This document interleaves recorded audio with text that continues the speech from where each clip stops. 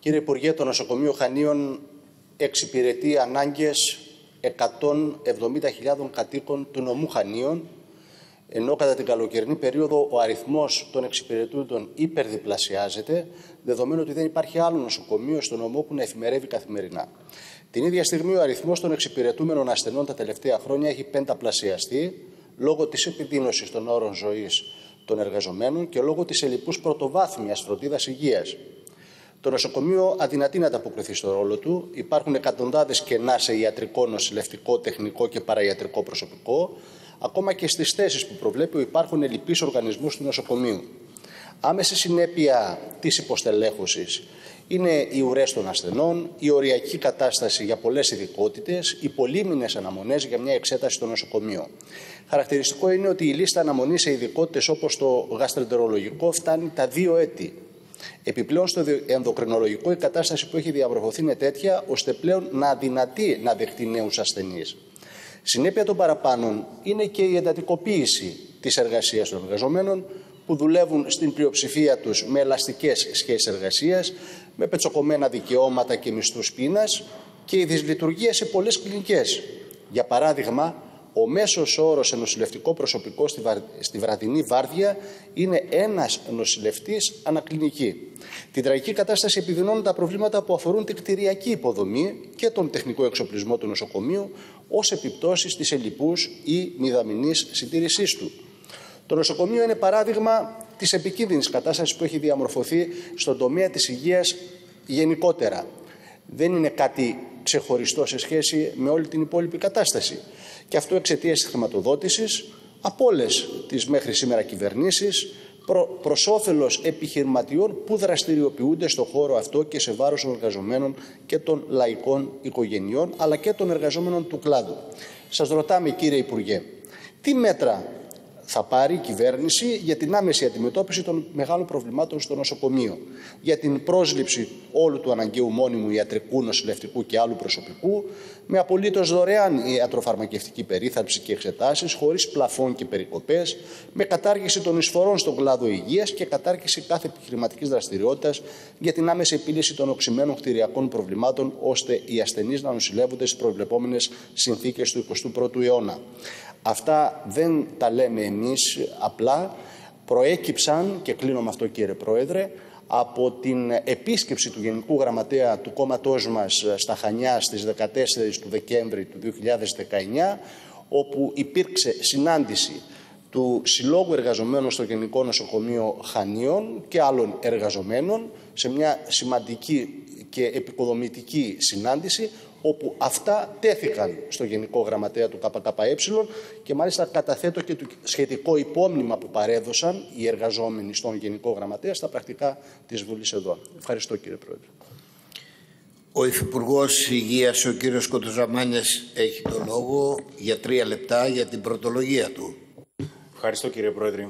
Κύριε Συντιχάκη, όπως έχω απαντήσει και σε παρόμοιες ερωτήσεις συναδέλφων σας βουλευτών του Κομμουνιστικού Κόμματος Ελλάδος αλλά και άλλων κομμάτων, τα προβλήματα και οι ελλείψεις στα νοσοκομεία όλης της χώρας δεν είναι. Τωρινό φαινόμενο, κληρονομήθηκαν από τη σημερινή κυβέρνηση και βεβαίως η κατάσταση η οποία κληθήκαμε να διαχειριστούμε ήταν πολύ χειρότερη από αυτή που φανταζόμασταν. Και καταβάλουμε κάθε προσπάθεια να ανατρέψουμε αυτή την κατάσταση και δώσαμε μεγάλη μάχη προκειμένου να διασφαλίσουμε την ασφαλή και επαρκή λειτουργία των νοσοκομιακών μονάδων το 2019.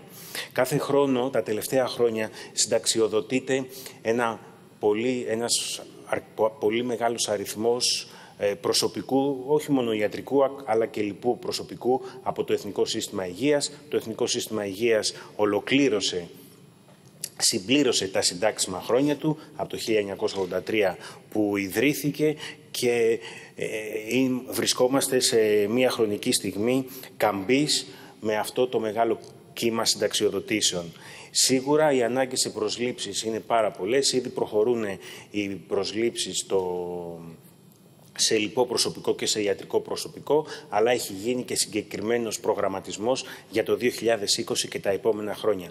Μάλιστα, επειδή σε προηγούμενη αναφορά έχω απαντήσει, να υπενθυμίσω ότι προς την κατεύθυνση αυτή προχωρούμε στη μετατροπή θέσεων επικουρικού προσωπικού σε επιμελητές Β, προκειμένου να δώσουμε μια ανάσα στο σύστημα με μόνιμες προσλήψεις και την κάλυψη κενών οργανικών θέσεων με μόνιμες προσλήψεις στο Εθνικό Σύστημα Υγείας και βεβαίως είμαστε στη διαδικασία νομοθέτησης μιας...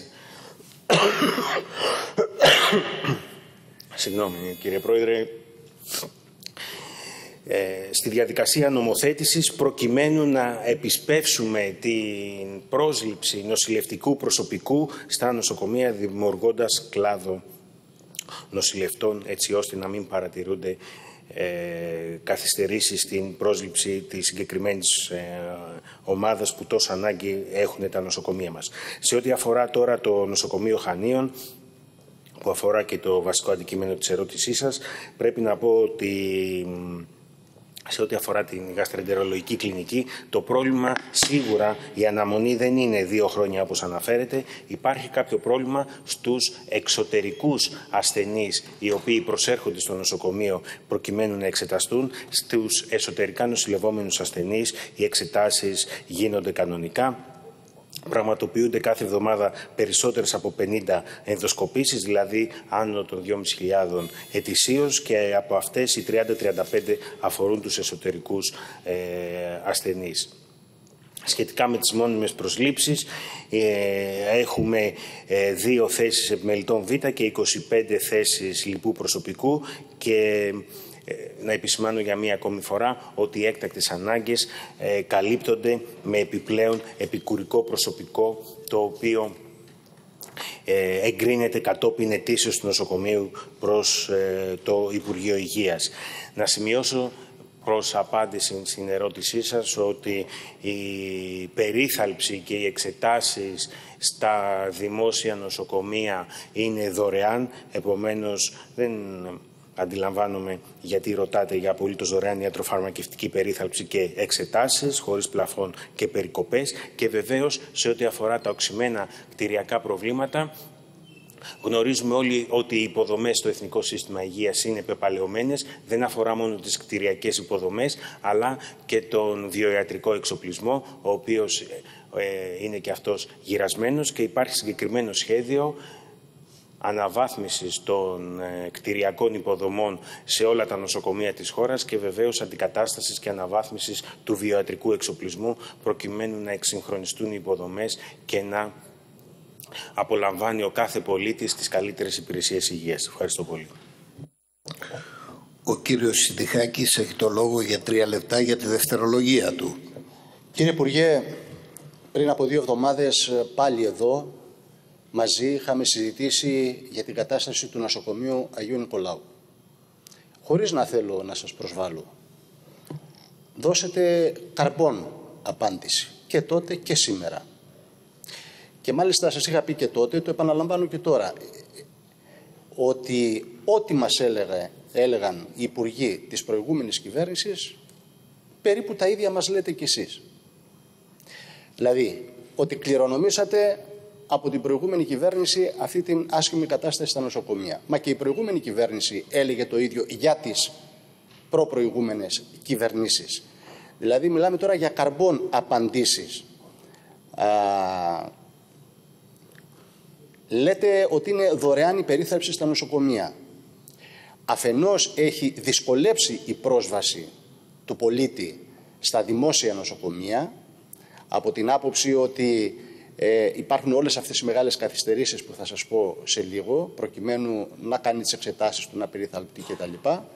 Και αφετέρου, μην ξεχνάτε ότι υπάρχουν τα απογευματινά ιατρία, που ένα μεγάλο μέρος του πληθυσμού κατευθύνεται ακριβώς λόγω των προβλημάτων και των δυσλειτουργιών που παρουσιάζει το νοσοκομείο της πρωινός αίρες να κατευθύνονται στα απογευματινά ιατρία παρά τις μεγάλες και τιτάνιες προσπάθειες που καταβάλει αυτό το ελάχιστο προσωπικό που έχουν τα νοσοκομεία.